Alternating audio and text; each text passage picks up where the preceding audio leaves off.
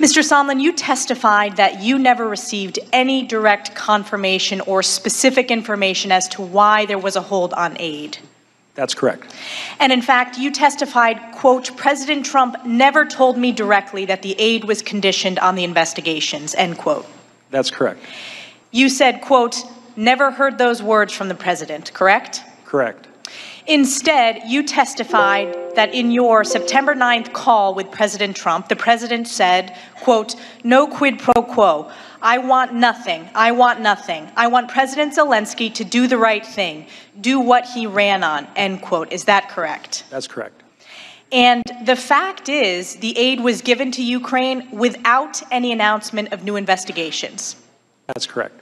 And President Trump did, in fact, meet with President Zelensky in September at the United Nations, correct? He did. And there was no announcement of investigations before this meeting? Correct. And there was no announcement of investigations after this meeting? That's right. And you've been very clear when Chairman Schiff has asked you broadly about investigations.